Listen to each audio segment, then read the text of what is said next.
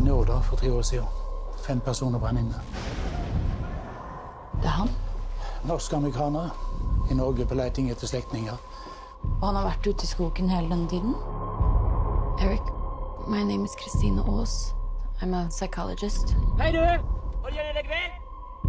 A lot of people are wondering what happened last night with you and the boy. If you touch me, you will burn.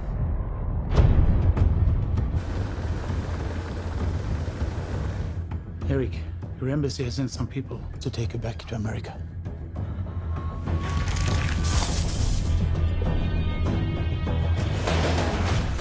We have uncovered three dead bodies. Christine!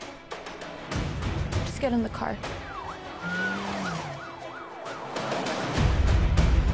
He cannot reach a city. You do agree with me, right? You've seen what he's done here. I saw it with my own eyes. You're lucky to be alive.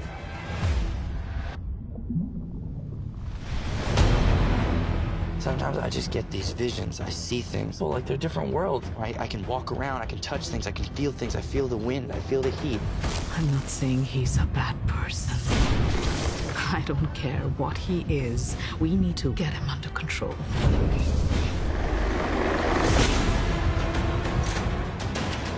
Get out of there as quickly as you can.